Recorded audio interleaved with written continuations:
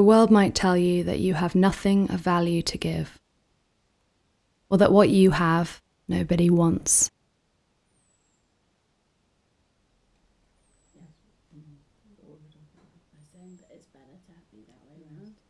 What if the world is wrong? What if what you have is something the world isn't giving?